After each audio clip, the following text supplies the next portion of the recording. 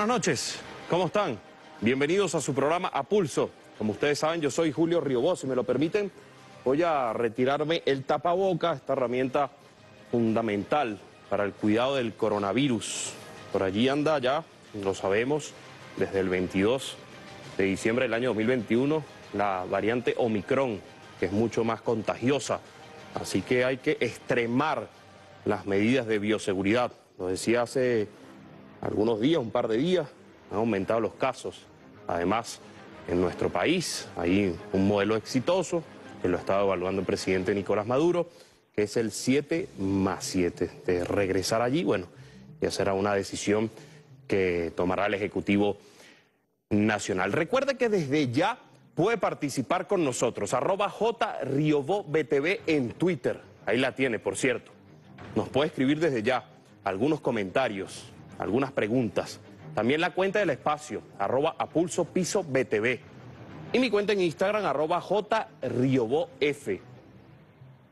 Tengo que decir algo sobre las redes sociales. Hay allí mm, mucha participación desde ya por nuestro invitado. Primera vez, yo siempre dejo en la incógnita el invitado. Muchas personas, usuarios e usuarias, han, bueno, eh, acertado el invitado del día de hoy. Muchas preguntas, algunas críticas constructivas también. Vamos a hablarlo con él precisamente. Él es ministro e ingeniero en sistemas, le gusta mucho el deporte, el básquet, el béisbol, y por allí hablan de defensa personal. Esto no es un espacio que toca el tema íntimo ni personal, pero bueno, a veces lo abordamos. Y bueno, estaremos hablando con él muchos temas relacionados a la cartera de... No se lo voy a decir, vamos a verlo a través del siguiente material a tener ya los cuatro trenes con los cuales se iba a completar el ciclo de 10 trenes repotenciados por nuestra clase trabajadora. Trenes que van a ser colocados en línea 2 y línea 3 para el servicio del pueblo, para el mejor vivir del pueblo. Importante decir, cosas como esta, repotenciación hecha con Ingeniería Nacional, motores repotenciados en nuestro país, sistemas electrónicos intervenidos por nuestros ingenieros, adecuaciones tecnológicas para adaptar trenes de hasta 35 años de uso y colocarlos como nuevos de agencia. Lo hemos logrado gracias, por supuesto, al impulso que nos está dando nuestro compañero presidente Nicolás Maduro, un trabajo arduo de toda la clase trabajadora de la Gran Misión Transporte Venezuela. Y que bueno, ya estamos entrando al 2022 en batalla y en victoria. tenían imágenes de nuestro invitado, además forma parte del partido Tupamaro. Nos acompaña el ministro Hipólito Abreu. Gracias por estar aquí en su programa A Pulso. ¿Cómo está? Buenas noches. Bueno, Julio, ¿verdad? muchas gracias por esta invitación. Este, ¿verdad? Vine con mucho ánimo de, explicar, de hablar, de informar, de dar eh, importantes avances que vienen para el 2022 también, logros obtenidos y los avances que vamos a tener indiscutiblemente en los próximos años. ¿Le gusta la defensa personal como un deporte? ¿Cómo es eso? No, nos gusta la defensa personal. Bueno, la, patria se defiende con personas que estén totalmente preparadas para cualquier escenario. Pero en lo deportivo no. Y deportivo también, por supuesto. hemos practicado desde juventud, bueno, nos tocó hacer algunos, algunos, participar en algunos eventos deportivos, incluso nacionales, pero este, después de cuando nos dedicamos al trabajo profesional, fue el trabajo político, el trabajo del desarrollo profesional también en el área de sistema. Bueno, el deporte poco a poco se fue relegando y quedó como una actividad suplementaria para mantener la condición física. Fíjense, yo he visto algunas actividades, recuerdo una actividad con el presidente Nicolás Maduro eh, de la Gran Misión Transporte. Ahí hablaban de el tema del el plan Caracas Bella, Patriota y Segura y aplicarla en el metro de Caracas. ¿Cómo avanza eso?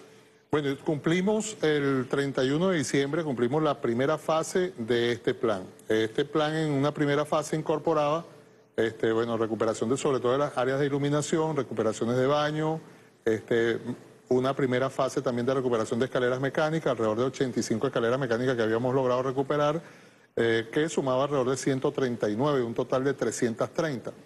Es importante decir que eh, uno de los factores que nos estuvo... Eh, digamos, perjudicando en este plan de recuperación en un principio, era que mucha de la tecnología de estas escaleras mecánicas eran compradas en el exterior. ¿Cuántas escaleras han recuperado, por ejemplo? Eh, no, ya al, al 3185. La meta para este año es completar las 200 escaleras más las 49, 250 escaleras de las 330 para este mismo año, con eh, trabajos de mecanización hechos principalmente en nuestros propios talleres y piezas desarrolladas mayoritariamente en nuestros talleres, así como recuperación de tarjetas electrónicas hecha también por la clase trabajadora de la Gran Misión Transporte de Venezuela. Por eso lo digo, porque este, los, presupuestos iniciales que teníamos eran alrededor de 10, 15, 20 mil dólares de recuperación por cada una de ellas y bueno, esto se ha reducido en un margen de más de un 90, 95% a una estructura de costo que nosotros realmente podamos cumplir. Le pregunto lo siguiente, ministro, ¿usted utiliza el metro de Caracas? Yo soy usuario del metro de Caracas, de hecho, este, algunas veces uno se va en el metro para ver las operaciones, ver las fallas, ver los progresos. Eh, podemos decir de que eh, de hace, hace tres años y medio, aproximadamente cuatro años atrás, Metro de Caracas estaba cubriendo el servicio con 12 trenes apenas, de los cuales en muchas ocasiones ocho únicamente estaban en línea. ¿Recuperaron 10? No, no, hemos recuperado muchos más. Nosotros al día recuperado? Nosotros al día de hoy, lo que pasa es que hay dos planes que están desarrollándose en simultáneo en, Metro de Caracas. Hay el plan Tren Caracas, que es un plan de repotenciación de unidades, colocándolas como nuevas, pues como de agencia, eh, motorización, el tema de los sistemas electrónicos, adecuaciones tecnológicas, interno, externo, mejoramiento de cabinas, mejoramiento de los sistemas de automatismo. O sea, ese tren sale completamente nuevo. Pero hay un segundo plan que se viene desarrollando, que es el plan de recuperación de flota por lo que son los mantenimientos programados. Nosotros al día de hoy ya tenemos alrededor de 54 trenes ya operativos. Estamos hablando de una recuperación de más de 40 trenes que hemos logrado en estos tres años. Tantos nuevos como de vieja data nuevos, los trenes CAF y los trenes este, Alstom de vieja generación.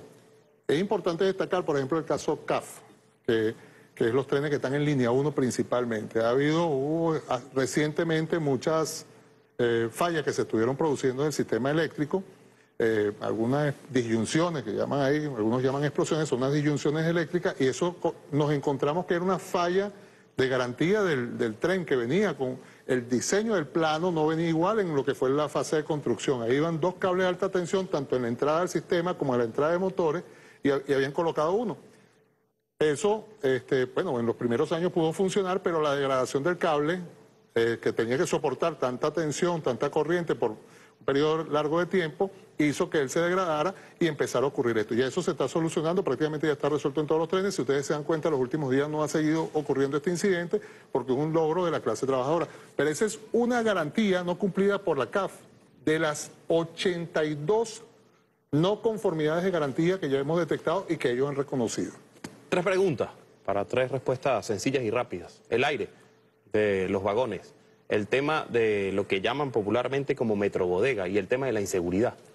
¿Cómo han venido trabajando en eso? Bueno, en el tema de, la, de los aire acondicionados, seguramente todavía puede haber algunos trenes que tengan alguna incidencia. Ocurre también, recuerda que estamos bajo un ataque de nuestro sistema eléctrico nacional, este, que ha venido el compañero Néstor Reverol mejorando notablemente en los últimos tiempos, pero en la medida que ocurran algunos flickers, eh, los trenes en muchas ocasiones, bueno, hacen lo que son las paradas de seguridad y en algunos momentos estos aires por temas de seguridad, se apaga el condensador, se apaga el compresor y entonces el aire deja de funcionar. Después se vuelve a reactivar. Hay algunos trenes que, bueno, pueden tener algunos aire acondicionados todavía deficientes, pero te puedo garantizar de que este, con el trabajo que venimos haciendo con el proyecto Tren Caracas, que ahora estos aire acondicionados lo estamos reparando directamente en nuestro propio taller a costo muy bajo, esto se va a ir se ha resuelto casi en más de un 95-97%.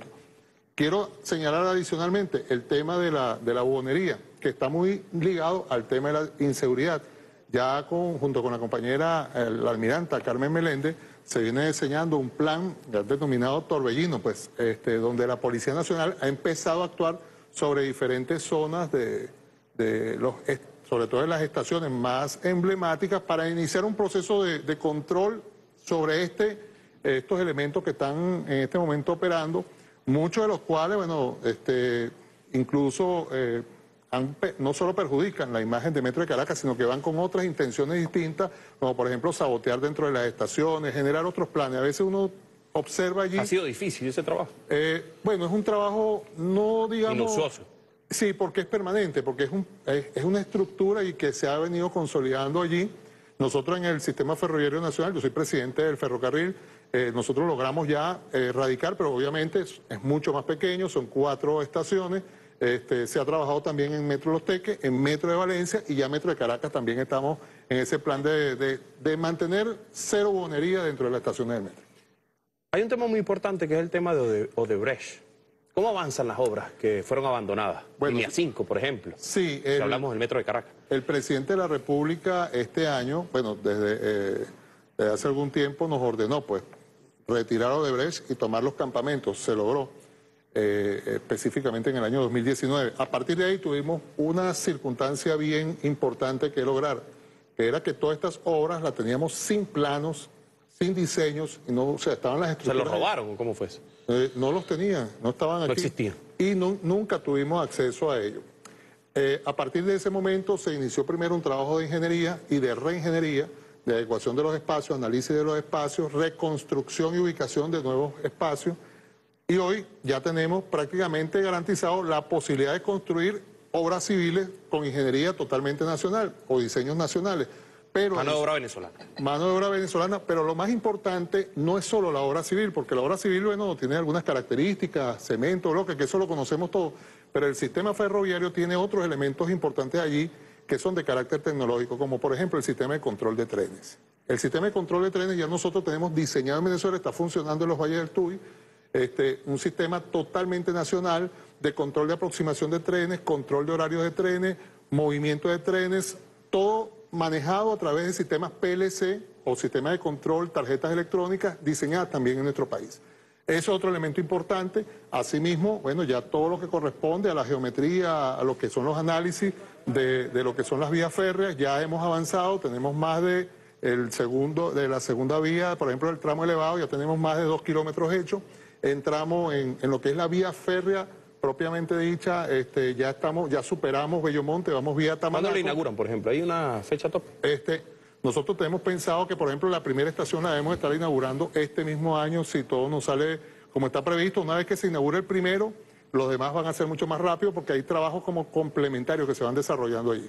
El tramo Guarenas-Guatire. Guarenas-Guatire y específicamente también en lo que es la estación del tramo, el segundo andén de Bellomonte, que es otro de lo que está por inaugurar. ¿Cuál es el avance si hablamos en porcentaje, del 0 al 100 de eh, estas obras? Bueno, es que hay varios tipos de cosas. Por ejemplo, en vía férrea estamos ya en un 100%, en el automatismo estamos en un 45%, en la estructura estamos más o menos en un 70%. O sea, hay diferentes tipos de avances y este, también el, otro, la otra obra, las otras obras que se han, eh, se han arrancado fue los que son las obras del ferrocarril.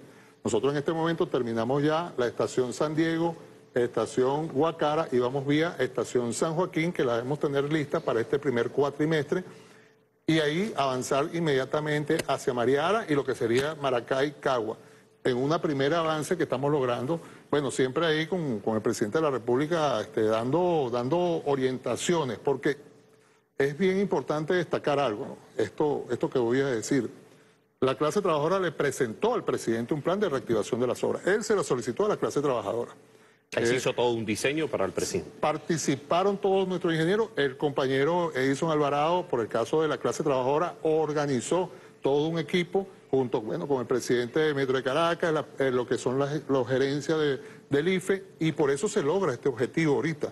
Porque si nosotros nos ponemos a contratar una transnacional o nos ponemos a contratar empresas privadas para que nos diseñen lo que nosotros teníamos que hacer, los costos se nos iban a elevar de manera importante. La reducción de costos que estamos logrando a través de esta metodología de administración directa sobrepasa el 75%.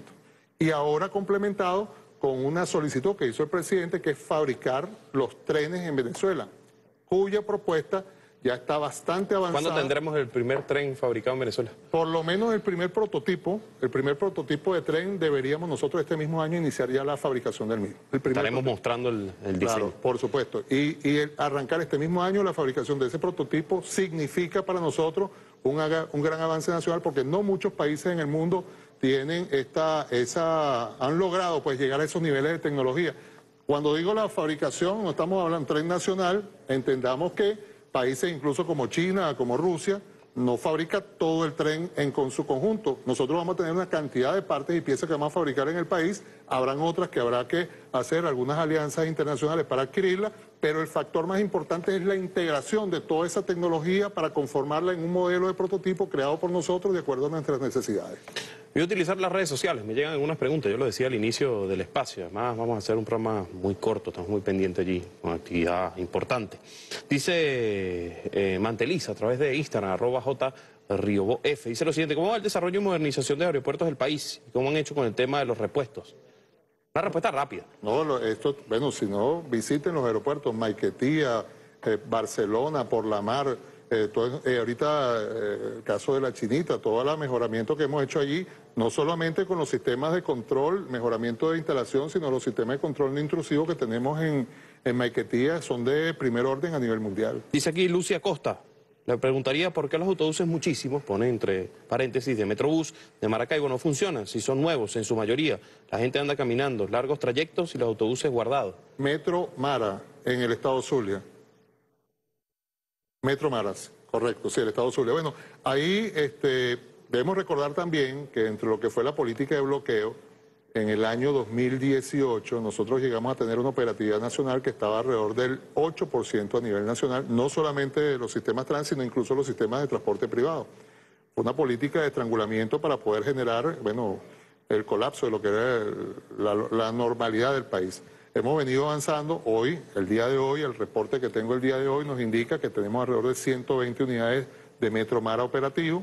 Este, lo, casualmente el compañero Ayala me presentó el reporte, eso indica que ya su operativa está por encima del 55%, seguramente en los planes que vienen para este mismo año, para este año 2022, nos va a permitir recuperar aún un número importante de trenes de unidades de autobuses que tal vez no estén cubriendo la ruta que ella estaba allí. No se desconozco, tendríamos que preguntarle a la... Hay gente que se pregunta por el costo del pasaje. Hay algunos que hasta lo ponen en dólares, por ejemplo. Y si no, bueno, si no lo quieres tomar y no lo quieres pagar, entonces, bueno, ve a ver cómo resuelve. ¿Qué le responde el ministro de Transporte sobre habido, hay un Hay un trabajo importante en la mesa de seguimiento de transporte junto con, bueno, los diferentes gremios. Sí existen eh, presiones, algunos gremios que presionan por lo que es la estructura de costo nosotros en este momento nos sentamos recientemente, esta misma semana, eh, con, los diferentes gremios. Se estableció una mesa técnica que va a estar analizando las diferentes estructuras de costo. Esperamos ya para la próxima semana tener un, número real en base bueno, a, los diferentes, eh, eh, digamos, insumos que ellos tienen que utilizar, que podemos nosotros aportar y garantizar un pasaje que se mantenga entre los niveles que bueno, el usuario pueda cancelar, pues, nuestro pueblo. Dice por aquí Daniel Fernández. Saludos. Uno, el proyecto de circunvalación del sur. Dos, el túnel vehicular Caricoa La Rinconada. Tres, la línea de metro zoológico La Rinconada. ¿Qué novedades se tiene para esas soluciones viales?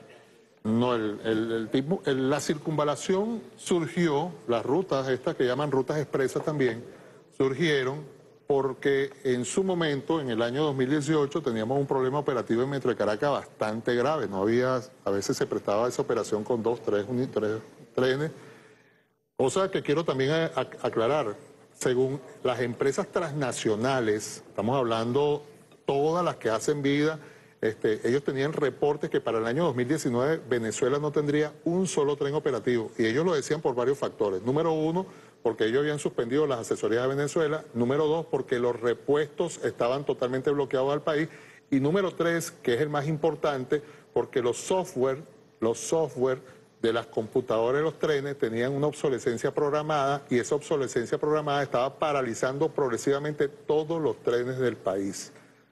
Tanto en Metro de Valencia como en el IFE, como en Metro de Caracas, era parte de un plan de ir paralizando el servicio. Nosotros con el equipo de telemática que logramos crear, un grupo de jóvenes este, ingenieros, logramos desentrañar ese software y logramos hacer una reconversión del mismo y por eso logramos recuperar nuestro sistema de trenes. Es importante destacar que esta, este, digamos, este debilitamiento del sistema de transporte digamos, ferroviario nacional tuvo mucho que ver o incidió muchísimo los planes conspirativos contra el gobierno que desde las transnacionales se estuvo orquestando contra Venezuela. Dice por aquí, en el metro están cobrando un bolívar por viaje, pero no permiten el pago con efectivo, solo con tarjeta de débito. No, Dice que está sucediendo. Son dos cosas falsas. Primero, el pasaje es 0,10 bolívares, no un bolívar.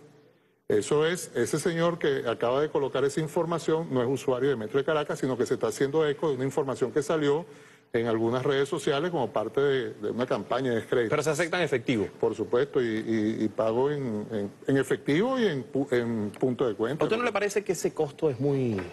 no tiene el valor, el valor importante para lo que... irrisorio, para lo que debería tener el metro de Caracas, por ejemplo? Bueno, fíjate esto. Es un análisis que hace la gente. Hay, hay- que, hay que hablar varios puntos. En primer lugar, el sistema de cobro electrónico que cuenta Metro de Caracas hoy, incluso que cuenta con todo el sistema ferroviario nacional, fue diseñado por nosotros. Anteriormente existía un proyecto de alrededor de 100 millones de, 70 millones de, de euros. Tengo poco tiempo, ministro. Sí, 70 millones de euros y esto se instaló. Y a partir de ahí estamos empezando a crear la cultura del cobro. En una primera etapa, 0.10, nos da para algunos costos operativos y se sigue evaluando y seguramente va a haber algunos ajustes a futuro. Pero en este momento lo más importante es que las personas, nuestros usuarios, adquieran la tarjeta y empiecen a usar el sistema cancelando como debe ser. Fíjese, ya nos queda tan solo un minuto. Ahí algo muy importante a nivel de transmisión. Nos vamos a despedir, pero yo le pregunto, si colocarían el 7 más 7, ¿está preparado ya nuevamente el Ministerio de Transporte para hacer las actividades competentes a esa decisión? Nosotros estamos preparados a la in- instrucción que gire el presidente de la República, 7 más 7, flexibilización sobre cualquier escenario que el compañero presidente tenga, nosotros estaremos ahí prestos y dispuestos para, para atender el país. Yo creo que nos vamos a tener que ver dentro de algunas semanas nuevamente. Hemos hablado muchos temas, usted me ha respondido y el pueblo también se hace sus preguntas.